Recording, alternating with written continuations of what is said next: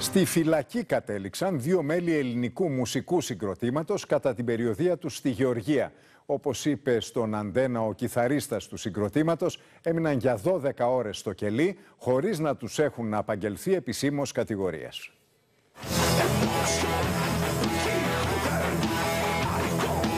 Πήγαν για συναυλία, βρέθηκαν όμως στην φυλακή.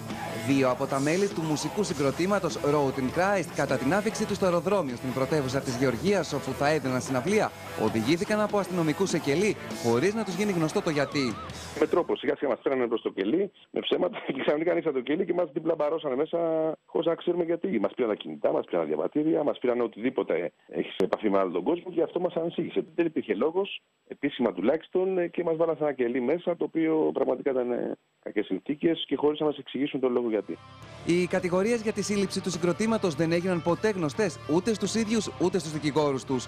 Όπως ενημερώθηκαν, τα ονόματά τους βρίσκονταν σε λίστα ανεπιθύμητων ατόμων για τη χώρα λόγω εθνικής ασφάλειας και υπήρξαν υπόνοιες ότι οι δύο συλληφθέντες είχαν σχέση με τρομοκρατία.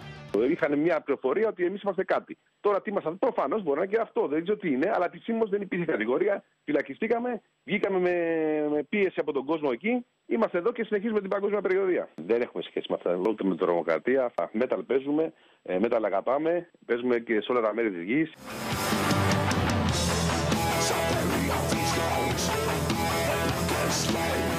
Την περιπέτεια του συγκροτήματος μοιράστηκαν μέσω του διαδικτύου τα μέλη της Black Metal Bandas. Δεν είναι όμως η πρώτη φορά που αντιμετωπίζουν τέτοιου είδους καταστάσεις, ωστόσο όπως λένε δεν πτωούνται, αφού μέσα από τη μουσική τους μάχονται για τα ανθρώπινα δικαιώματα. Έχω γνωρίσει αρκετές φορές κάποιες δυσκολίες, ειδικά τις τελευταίες εποχές που οι στάσεις παγκοσμίως είναι τεταμένα τα πράγματα. σω για το όνομά μας, για τα πιστεύω μας, ίσως για οτιδήποτε, αλλά πίστεψέ με, σε αυτόν τον κόσμο δεν αλλάζουν τα πράγματα εύκολα.